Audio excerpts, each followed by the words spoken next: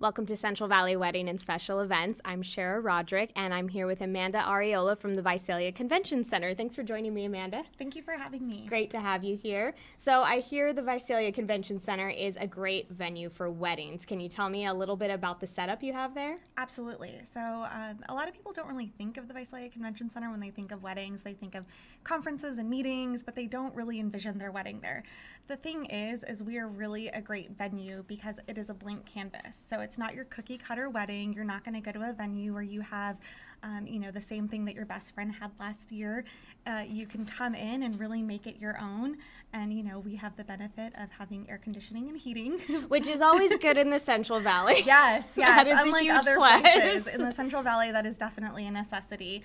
Um, but we can accommodate um, from the smallest wedding of 20 to 2,000. We really have um, enough different spaces in our building to accommodate anyone. Okay, so when someone is interested in possibly having their wedding there, are they able to come on a tour of the convention Absolutely. center and get an idea of how they want their Yes. setup? And I highly encourage them to. So anyone who's interested in a tour can just give me a call. Um, there's only one of me there, so call and ask for Amanda Arreola, and um, I'm happy to do that.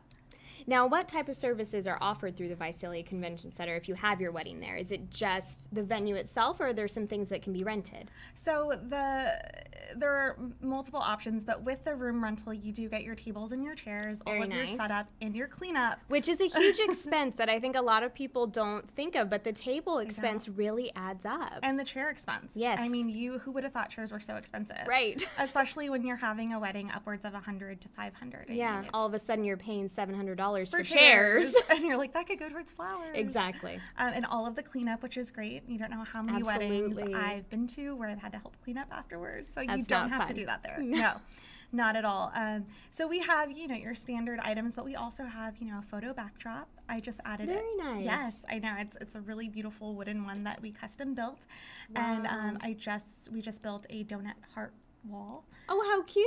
Yeah. Is that the kind where you hang the donuts? Yes. Oh, very so nice. it's you know a fun twist. and donuts are trending right now. They I'm are so noticing that. They're so popular for weddings. they are. I mean, everyone loves cake, but who doesn't love a donut? Right. You, you can't beat a late night donut. Right? It's just it's so much fun and it's so cute and everyone loves it. So we do have you know different items you could rent, chandeliers. uh, Wow. so dance you really get to pick and choose and customize your wedding. Yeah, and it's all in house, so you don't have to, you know, meet with different vendors for everything. I mean, a lot of it you still will have to go get your caterer. Um, we have a list of wonderful certified caterers, and uh, but you know the uplighting and um, a lot of the decor we we can do in house, which is great. It sounds pretty great. And there was something else you were telling me about that Yes. I am very excited about. I want to attend. Can you tell us about do. this? What is it? A wedding walk? Yes. So the idea came to me last year when uh, we were trying to figure out a way to showcase our space.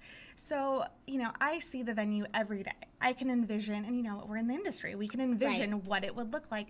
But for your standard person, they don't know what they're looking It at. can be very overwhelming to figure is. Out how to turn it into a special spot. Right. And you walk into a space and you know, I can tell you this is where the chandelier would go and this is where the Mm-hmm. dance floor would go, but unless you're used to seeing those things, it's hard to envision. So uh, that's where the concept was born. We wanted to do an open house, but we didn't just want to do an open house. And then the more we thought about it, it started, you know, segueing into a bridal show, and we didn't really want to do a bridal show. There's so There's many so of many those. of them, yes. and you go and they're great they are really wonderful but you feel like cattle and it's you know we wanted to do something intimate. Um, so that is where the bridal walk was born. And it's a lot of fun. We did it on a thursday night last year. This year will be on a friday. Um, the brides come and like any wonderful first class trip you get a complimentary glass of champagne Very nice. you're given your passport and you take the passport around to vendors and they stamp it with an international stamp, which is really kind of cute. I like that. It- it was That's a fun. so lot you're getting fun. to travel around. Travel around, and the great thing was is we incorporated downtown. So for anyone who's not familiar with the convention center, we are located in the heart of downtown, which Okay. is another reason why we're such a wonderful venue. yeah, absolutely. So after your wedding, you know, everyone can go out downtown and there's plenty of hotels. Um, so we, we incorporated about 20 vendors downtown.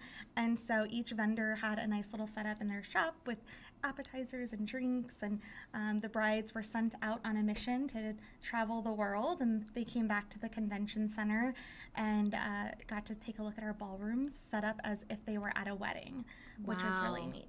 And That's amazing. it was a lot of fun, and we're so excited uh, to have our second annual one this year, September 28th. So, um, yeah, if you're around, I would love for you to attend. Well, I would love to because I'm actually I'm getting married in October, so I'd be cutting it a little close at that point. Right. But you know, I think there's always room for some inspiration to get some ideas. and if nothing else, a really fun night out with your bridesmaids and Absolutely, friends. absolutely. Now, do night out. people buy tickets ahead of time for this? You can. You can buy them ahead of time or at the door, and Okay. tickets are only $10. Okay, uh, same price ahead of time and at the door. Mm-hmm.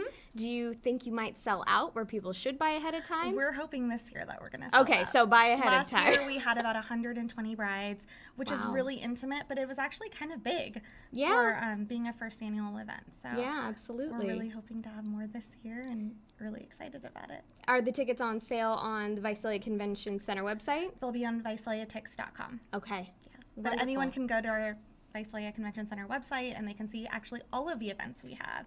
Um, we're going to be doing a Quinceañera Expo. It'll be our first one in Oh, July. wow. Okay. So that's going to be really exciting. So that's what I'm working on now. well, it sounds like you have a pretty exciting job that you get to keep Yes. coming up with these ideas and Right? seeing them develop. Exactly. That's amazing. Very lucky.